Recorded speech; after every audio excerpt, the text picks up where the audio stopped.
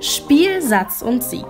Während sich in Rom gerade die besten Tennisspielerinnen und Tennisspieler die Ehre geben, finden hierzulande die Mannschaftsmeisterschaften der Jugend im Bereich U18 statt.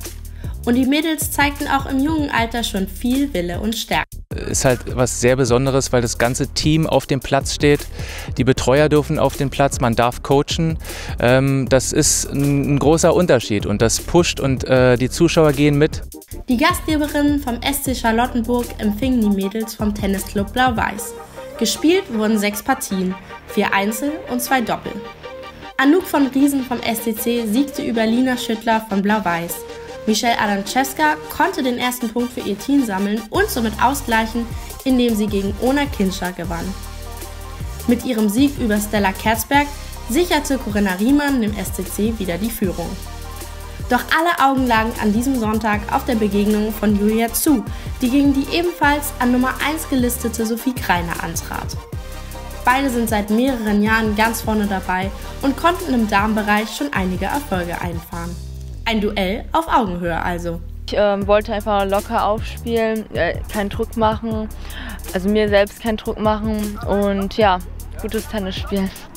Ein hart umkämpfter erster Satz konnte erst mit 7 zu 5 im Tiebreak entschieden werden. Danach fiel der 15-Jährigen zu, das Spiel deutlich leichter und sie konnte locker zum Matchgewinn aufschlagen. Letztlich besiegte sie ihre Kontrahentin mit 7 zu 6 und 6 zu 2. Sie hat eine druckvolle Vorhand, einen guten Aufschlag ähm, und sie bewegt sich auch gut. Äh, es war manchmal so glücklich für mich, äh, weil sie den Fehler dann am Ende gemacht hat. Mit einem Zwischenstand von 3 zu 1 für die Gastgeberinnen nach den Einzelmatches ging es nun in die Doppel. Hier bezwangen Julia Zu und Ona Kinscher, Sophie Greiner und Stella Kerzberg in zwei Sätzen und auch ihre Teamkolleginnen Corinna Riedmann und Anouk von Riesen siegten in zwei Sätzen gegen die Doppelpaarung Michelle Adamczewska und Lina Schüttler.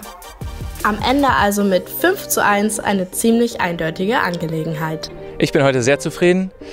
Ähm, anfangs dachte ich eigentlich, dass wir der Außenseiter sind, weil eine unserer Spitzenspielerinnen äh, sich den Knöchel gebrochen hatte. Ähm, aber das haben die Mädels heute super gemacht. Das war von vorne bis hinten wirklich eine perfekte Leistung heute. Ich bin sehr zufrieden.